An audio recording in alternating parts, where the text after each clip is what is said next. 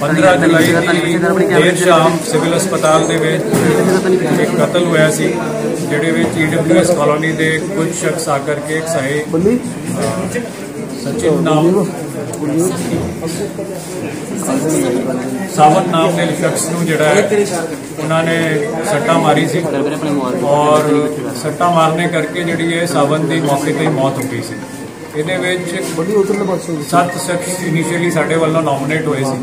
ਔਰ ਕੱਲ ਤੱਕ ਇਹਦੇ ਵਿੱਚੋਂ ਤਿੰਨ ਸ਼ਖਸ ਗ੍ਰਿਫਤਾਰ ਕਰ ਲਏ ਗਏ ਸੀ। ਔਰ ਅੱਜ ਜਿਹੜੀ ਇਹ ਕਾਰਵਾਈ ਦੇ ਵਿੱਚ ਜੋ ਬਾਕੀ ਰਹਿੰਦੇ, ਕੋਈ ਪੰਜ ਇਹਨਾਂ ਵਿੱਚੋਂ ਜੋ ਆਰੋਪੀ ਸੀ, ਉਹਨਾਂ ਨੂੰ ਅਸੀਂ ਗ੍ਰਿਫਤਾਰ ਕਰ ਲਿਆ ਹੈ।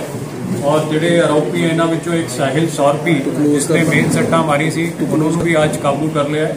ਵਿਸ਼ਾਲ ਉਰਫ ਮੱਚਲ, ਮਨਪ੍ਰੀਤ ਉਰਫ ਮੰਨੂ ਅੰਕੁਰ ਪੁੱਤਰ ਰਮੇਸ਼ ਔਰ ਵਿਕਾਸ ਪੁੱਤਰ ਓਮੀ। ਇਹ ਪੰਜ ਸ਼ਖਸ ਜਿਹੜੇ ਇਸ ਵਾਰਦਾਤ ਵਿੱਚ ਸ਼ਾਮਿਲ ਸੀ, ਇਹ ਸਾਰੇ ਗ੍ਰਿਫਤਾਰ ਕਰ ਲਏ ਗਏ। ਔਰ ਉਸ ਵੇਲੇ ਜੋ ਹਥਿਆਰ ਇਸਤੇਮਾਲ ਹੋਏ ਸੀ, ਉਹਨਾਂ ਵਿੱਚੋਂ ਇੱਕ ਡਾਕਟਰੀ ਡਰਮ, ਜੋ ਕਿ ਆਟੋਕਲੇਵ ਡਰਮ ਹੁੰਦਾ ਹੈ, ਔਰ ਇੱਕ ਕਿਰਪਾਨ। ਇਹ ਪਹਿਲੇ ਹੀ ਬਰਾਮਦ ਹੋ ਚੁੱਕੀ ਹੈ ਔਰ ਇਹਨਾਂ ਦੇ ਵਿੱਚ ਹੋਰ ਹੁਣ ਪੁੱਛਗਿੱਛ ਚਲਦੀ ਪਈ ਹੈ। ਔਰ ਜਿਹੜੇ ਸ਼ਖਸ ਹੈ, ਇਸ ਤਰੀਕੇ ਸੇ ਜੋ ਪੂਰੇ ਵਾਰਦਾਤ ਵਿੱਚ ਸ਼ਾਮਿਲ ਸੀ ਮੇਨਲੀ 7 ਔਰ 8 7 ਬੰਦੇ ਜਿਹੜੇ ਸਾਰੇ ਗ੍ਰਿਫਤਾਰ ਕਰ ਲਏ ਗਏ। ਇਹਦੇ ਬਾਅਦ ਕੁਝ ਬੰਦੇ ਜਿਹੜੇ ਇਹਨਾਂ ਦੇ ਵਿੱਚ ਕੋਈ ਹੋਰ ਕੰਸਪੀਰੇਸੀ ਵਿੱਚ ਸ਼ਾਮਿਲ ਸੀ ਉਹਨਾਂ ਨੂੰ ਅਸੀਂ ਗ੍ਰਿਫਤਾਰ ਕਰਨ ਲਈ ਅੱਗੇ ਪੁੱਛਗਿੱਛ ਕਰਕੇ ਕਾਰਵਾਈ ਕਰਦੇ ਹਾਂ। ਸਰ ਕਾਰਨ ਕੀ ਸੀਗਾ ਸਰ ਲੜਾਈ ਦਾ?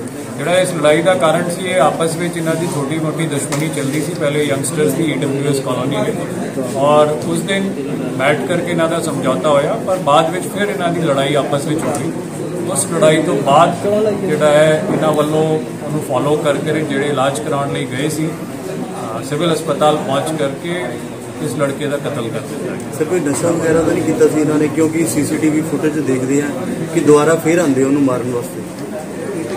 ਦੇਖੋ ਹਾਲੇ ਤੱਕ ਇਹਦਾ ਇੱਕ ਪੁੱਛਗਿੱਛ ਚੱਲਦੀ ਪਈ ਹੈ ਔਰ ਇਸ ਵਿਸ਼ੇ ਦੇ ਵਿੱਚ ਅਭੀ ਤੱਕ ਕੋਈ ਵੀ ਕਲੈਰਿਟੀ ਨਹੀਂ ਹੈ। ਅਸੀਂ ਜਲਦੀ ਅਗਰ ਕੋਈ ਇਹੋ ਜਿਹੀ ਚੀਜ਼ ਹੋਊਗੀ ਖੁਲਾਸਾ ਕਰਾਂਗੇ ਠੀਕ